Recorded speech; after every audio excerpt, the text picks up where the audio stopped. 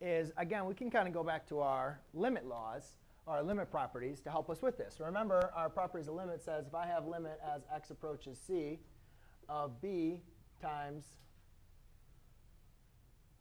b times f of x, that's the same thing as b times um, of b times the limit as x approaches c of f of x.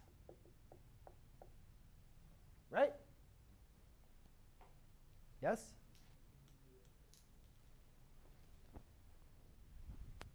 So what I want you guys to um, understand here, and again, remember also another rule, or another just idea, is if you have 1 half, and you multiply by 1 half by 4 over 4, I'm going to get 4 eighths. Do you guys agree with me that 1 half is equal to 4 over 8? So as long as you multiply by the same number, you're OK. Right?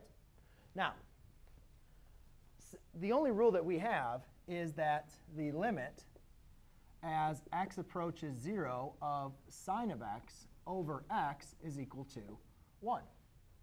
Well, guess what? That rule works for x approaches sine of 2x over 2x.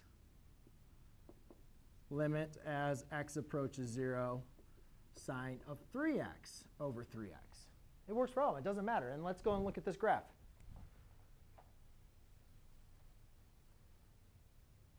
Let's go ahead and copy, or let's just put in 2 and 2.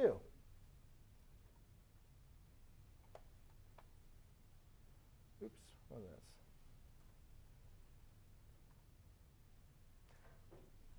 Do you guys see right now how it's still at 1? Right? Let's go and put in 5 and 5. If I change this to 5 over 5, it's still approaching 1, right?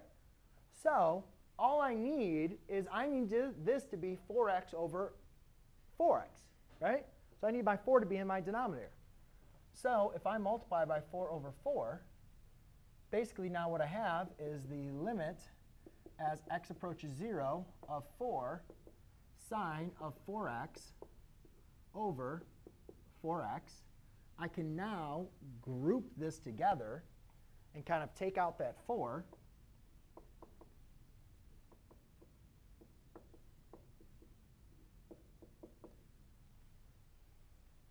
So if you multiply this on the outside, you can multiply on the inside, right? You can multiply it on the inside.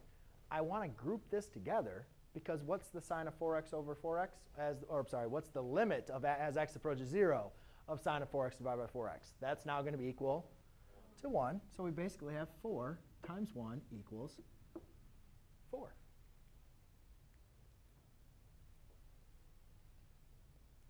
And if you guys were to evaluate this, let's just go back to this graph. Let's plug in 4x over x. What does that graph approach at when x equals 0? 4. Right? So you can always use graphing technology, especially when you guys are doing your homework.